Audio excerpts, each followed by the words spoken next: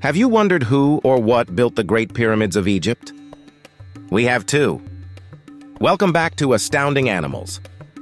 Before I continue, be sure to hit those like and subscribe buttons.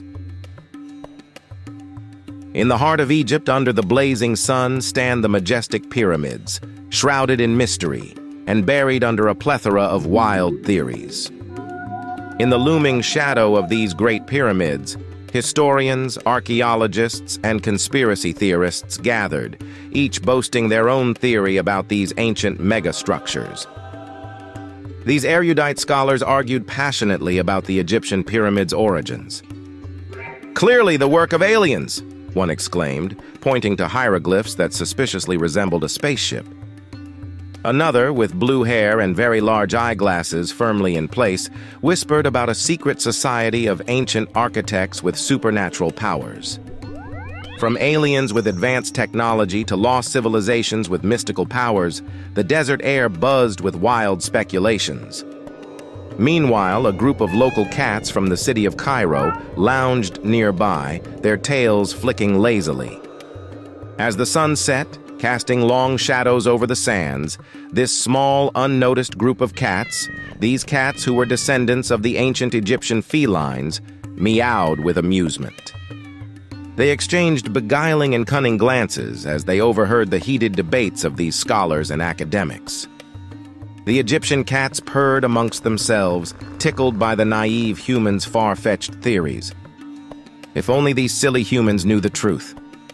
Little did humans know that it was the cat's clever paws and strategic planning that had masterminded the Egyptian pyramids.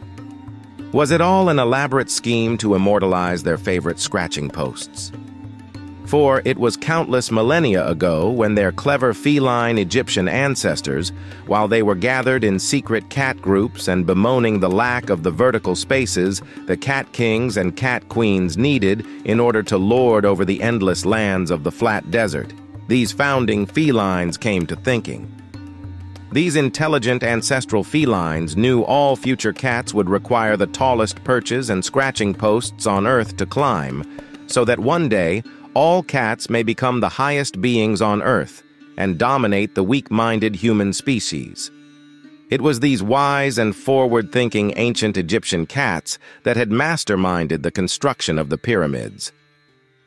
With precise meows and purrs, these ancient and commanding Egyptian cat kings and queens had directed their enslaved humans to build these perfect, giant scratching posts.